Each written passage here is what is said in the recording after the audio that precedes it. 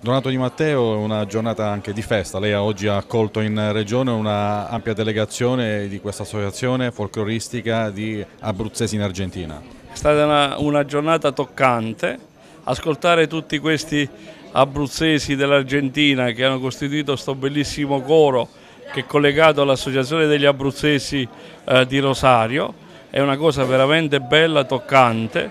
Sono certo che rappresenta un altro punto di forza nostra, del nostro Abruzzo distribuito nel mondo. Questo, questo grande mondo degli abruzzesi è una grande potenzialità per la nostra regione.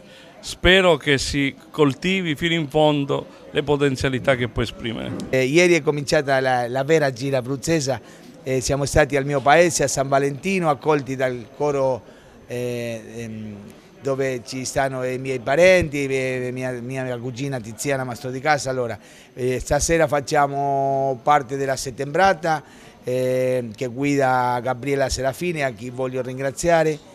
Sarà una giornata magnifica.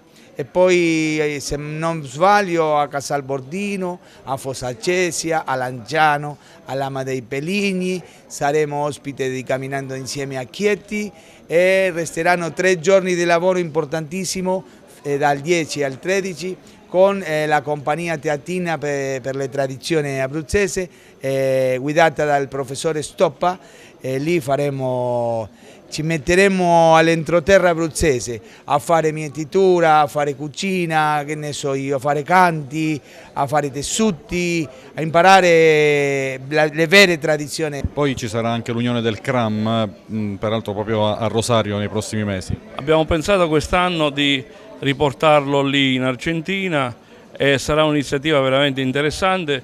Abbiamo previsto che spenderemo di meno di quello che, che si spenderebbe se si facesse qui in Italia, per cui questa volta, dopo oh, tre iniziative fatte in Abruzzo, abbiamo deciso di rifare una iniziativa lì, in Argentina e a Rosario.